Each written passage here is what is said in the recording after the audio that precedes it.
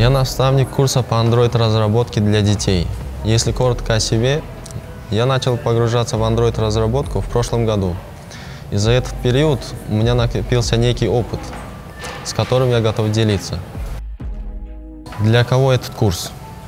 Для школьников, для детей с математическими способностями, для тех, кто не упускает мобильное устройство из рук, хотят разобраться в них, хотят понять, что там, как там устроено.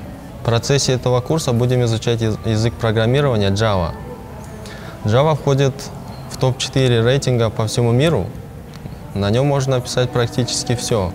Мобильные приложения и настольные приложения для Windows, Linux, macOS и так далее. С помощью Java дальше мы будем создавать приложения под Android.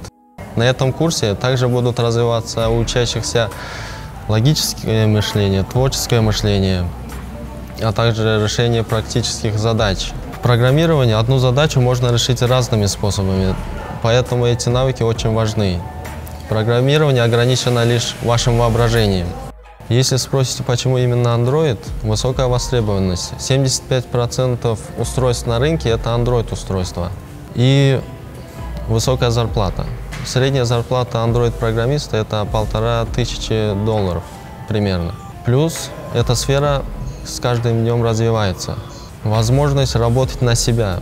Реализуйте свои идеи и зарабатывайте на них.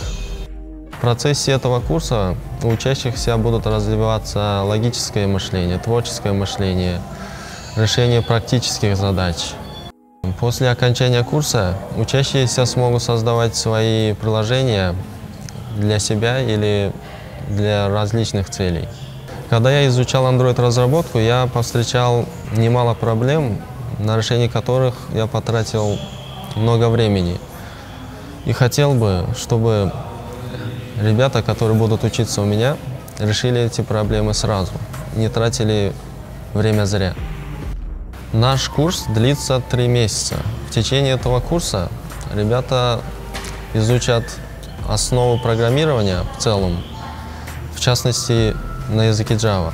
По окончанию этого курса ребята смогут создавать различные приложения для себя или для различных целей. И при переходе на продвинутый уровень у них проблем будет меньше. Будет заложен крепкий фундамент.